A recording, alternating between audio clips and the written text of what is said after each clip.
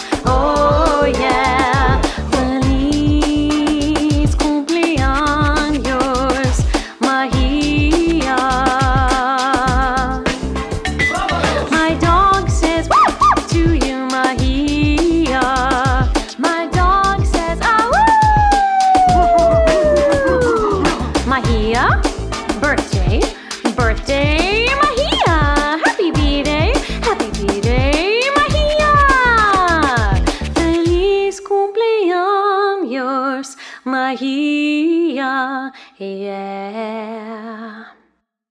One happy birthday dot com.